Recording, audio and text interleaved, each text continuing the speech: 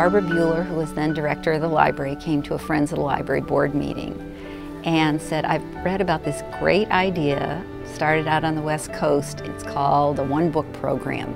And I really liked that idea and wanted to bring it to our library. And so right from the beginning, we debated how we could do that and we decided we keep it a one book program, one main book, but we would have a second book at a middle level and a third book for preschoolers and early elementary. And that way, everybody in the family could be reading.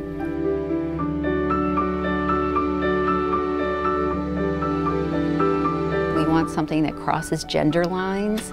Um, most book clubs are women's groups, so we really want to make sure that men would be interested in reading these books as well. We want them to be acceptable for the high school level because the high school students are included in our adult level books. And we want topics that will generate good discussion in the community.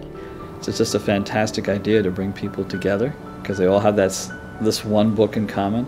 It's not that often that we all have one thing in common. At any time you have people who, who all read the same thing and then come together to discuss it and hear each other's ideas and take them into understanding I think that's always a great thing. One Book is such a wonderful program because it brings people in from all walks of life in a community. I think it strengthens communities. Today's hectic environment, people are, are, are very busy, so it's an opportunity for the entire community to come together and uh, share a common experience. Because sometimes, you know, people don't know how to start talking to somebody else, and this gives them a platform to have a conversation and to share ideas.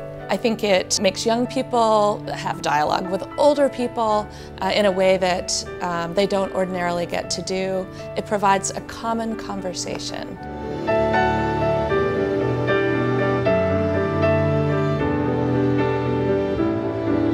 One of our main goals is just to get people reading. And that's why we have so many different programs. We have music, art, history, science, all these ways to lead to the book, to hopefully get people excited about the book and reading.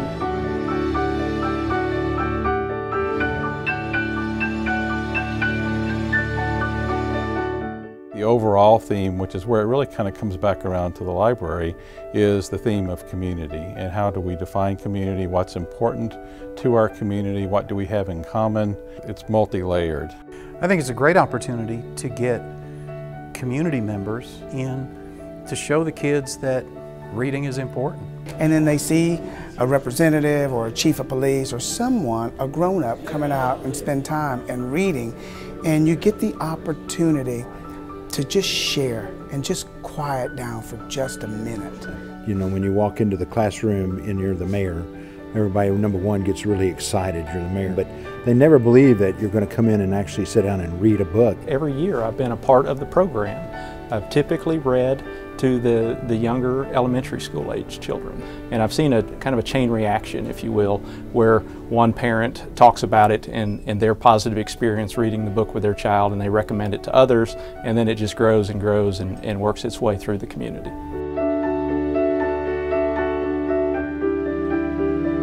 I went into a number of schools where we did school assemblies and the kids, I, I do a little magic in that and the kids always want to know how that work. And I always tell them when I was a kid, I learned a magic number that helped me learn magic, and it's 793.8, which is where the magic books were stored in the Dewey Decimal System. So I spent my whole childhood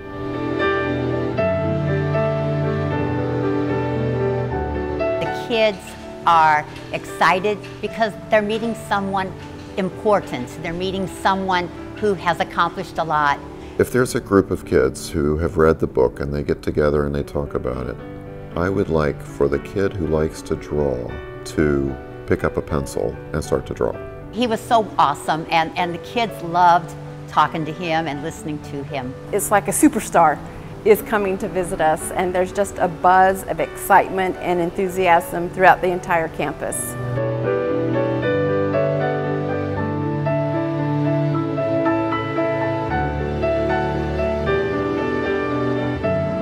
Choosing the book, I think, is, is probably the hardest part of the process.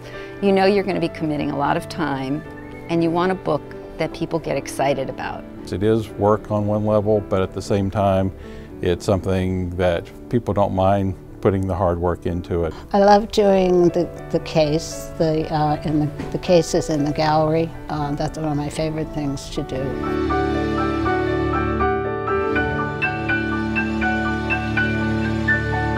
Been so many people in, involved in the success of Allen Reads. I think I get more out of the program than what I give.